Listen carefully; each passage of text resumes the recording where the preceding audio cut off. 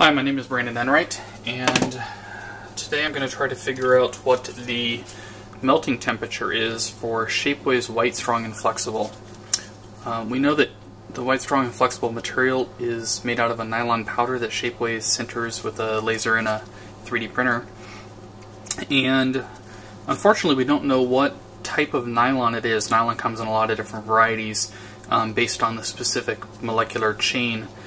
Um, I think nylon 6 is probably the most common one, but the 3D printer needs to be able to melt the nylon, and my guess is that they probably use a nylon that has a slightly lower melting temperature than um, typical nylon. And so you see ranges published online that range from like oh, like 200 degrees Celsius to around like 350 degrees Celsius, which is a pretty huge range.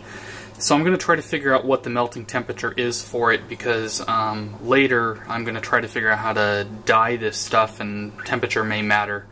Uh, so I'm going to try to figure it out.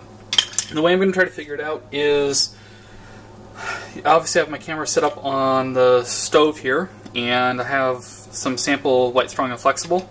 This one um, is also white strong and flexible but it's been um, polished by me in coarse grit in a rock tumbler. It it, this was a flawed piece, so I threw it in there anyways. I had to cut the top off to get the powder out. Um, I don't think it'll sink otherwise. Um, and what I'm going to do is I'm going to use mineral oil. So I'm going to use baby oil, which is mineral oil, which has an incredibly high boiling point, and it's a pretty safe material to get pretty hot.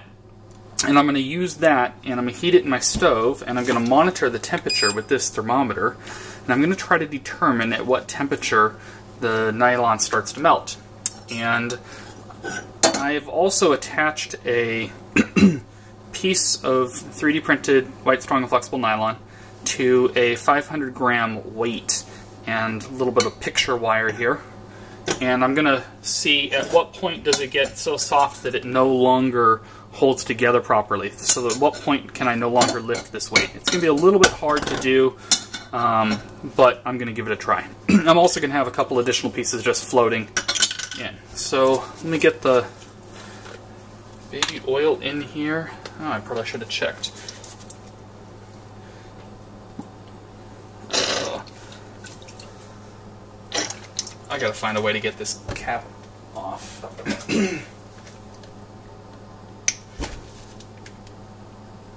there we go.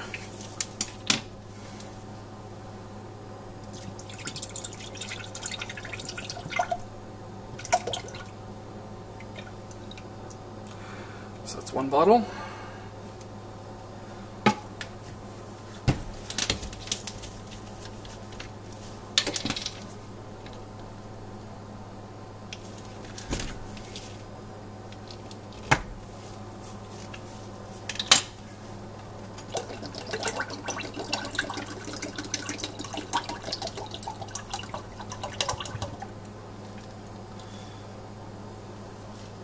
It's going to be hard to keep this uh, piece submerged.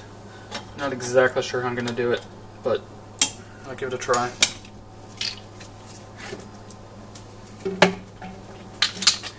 Alright, temperature is at 27 Celsius right now, and obviously nothing is melting.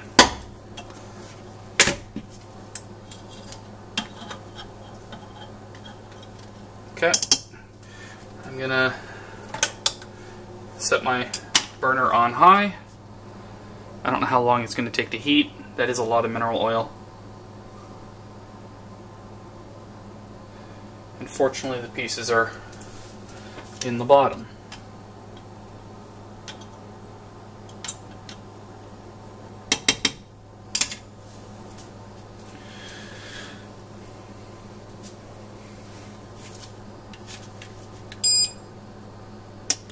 Yeah, pretty much no change. No surprise.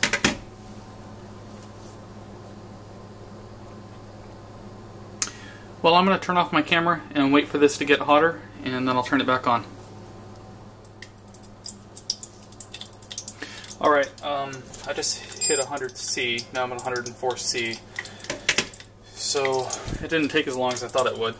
Um, I am going to Obviously this is boiling water temperature. No surprise there.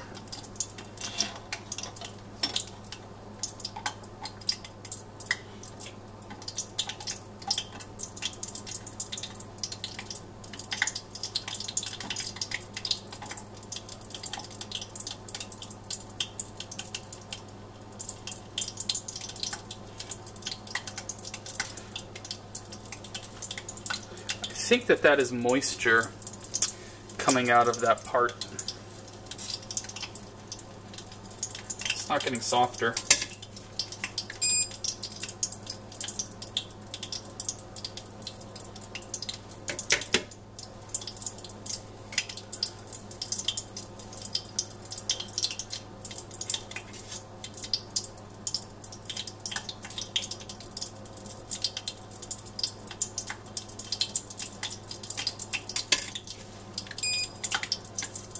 Hundred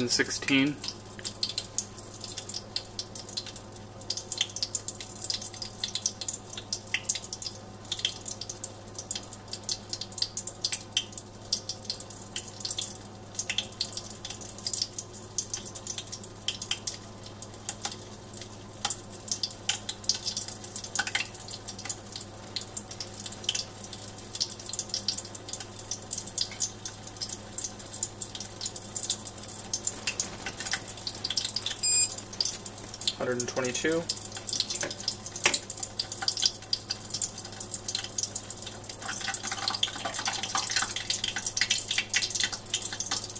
And I'm pretty sure the popping sound is just moisture.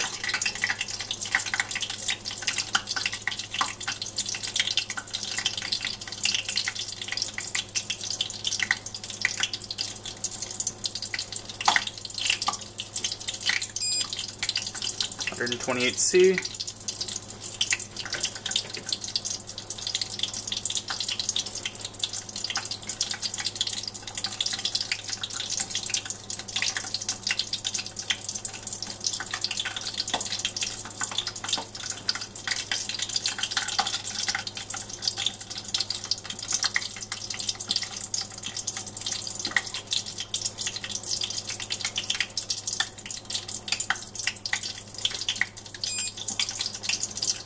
One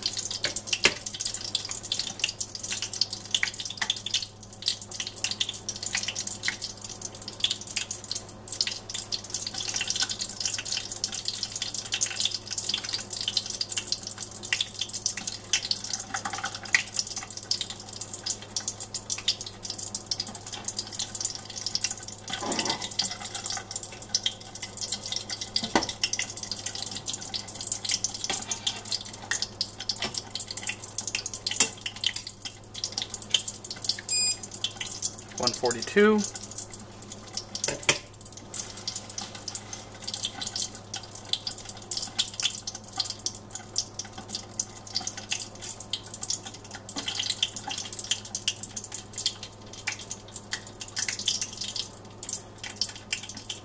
I think this nylon might actually start to be softening. Seems like it's sticking to the bottom.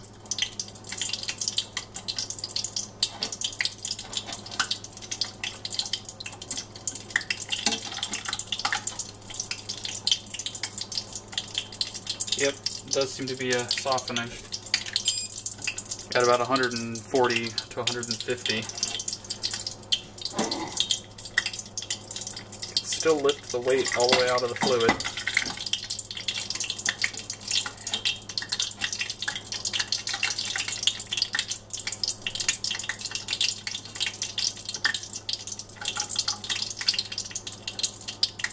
I'm gonna turn the uh, temperature down on my stove so I don't heat the bottom too much faster than I heat the rest of it.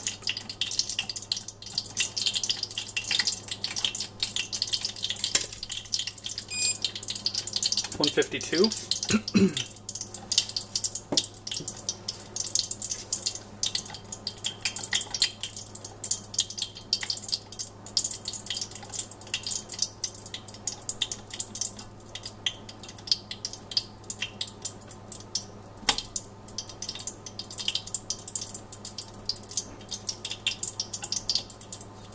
Yeah, it is starting to melt.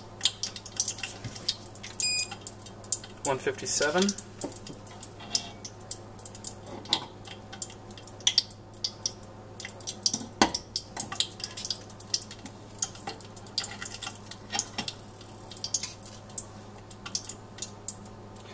It is not melting completely through like I thought it would. It's just getting slightly sticky, it seems.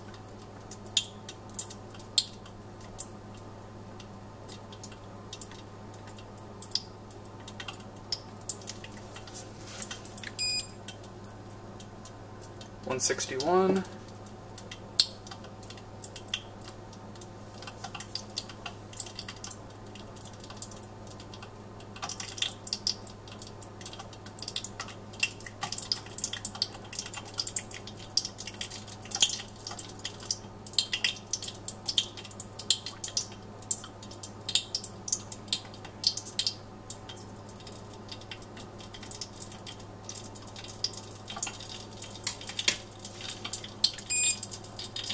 sixty one. Sixty-five.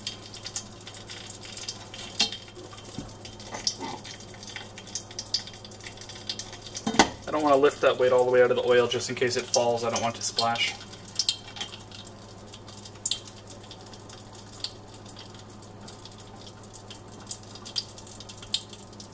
Uh, yes, now the pieces are starting to deform when I press on them. I don't know if you, I don't know if the camera can pick this up, but if I press on this piece, it, the wall starts to deform. That's happening at 170.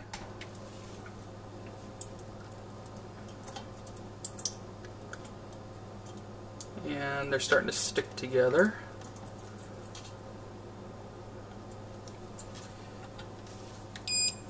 One seventy one.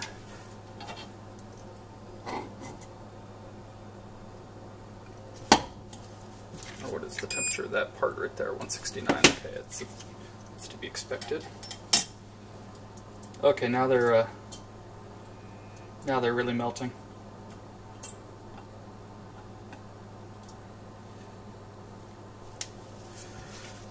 If you're doing this to parts that needed to maintain structural integrity, they would probably be ruining themselves at about 170 to 175 or so.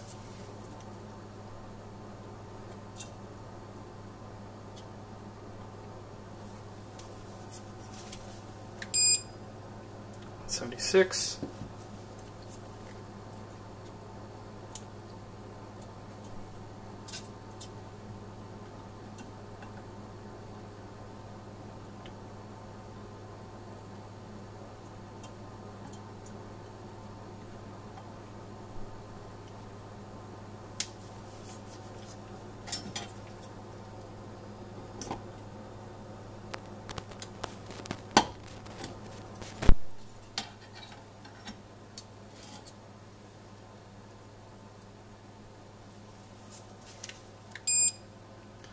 181. I think there's absolutely no moisture left in this part. That's why the popping has stopped.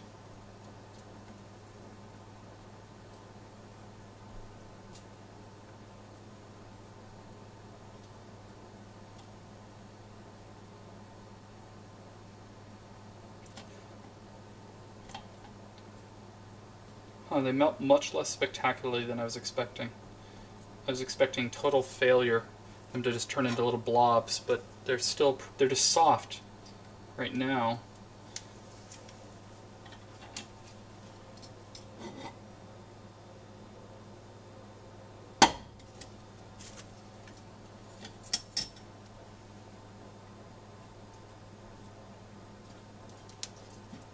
Sticking together soft though, fortunately.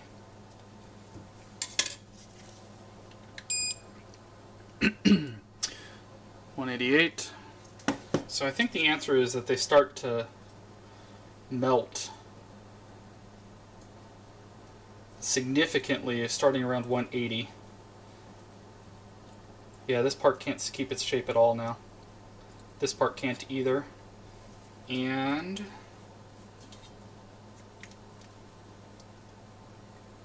Well, can't even get them off the screwdriver. Can't touch it either, unfortunately.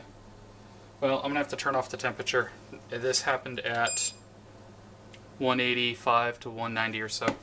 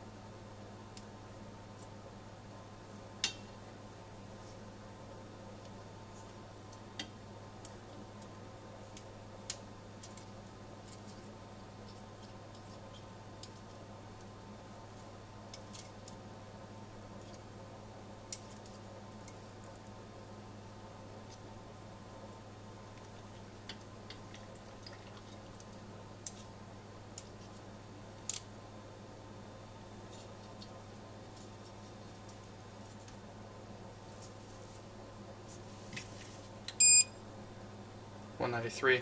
Temperature's evening out, I guess. Okay, well, yep, they're pretty much blobs now.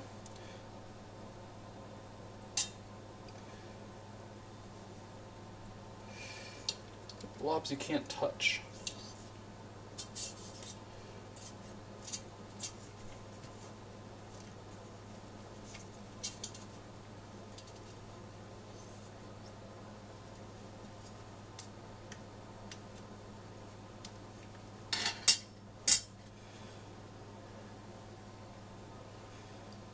Okay, well,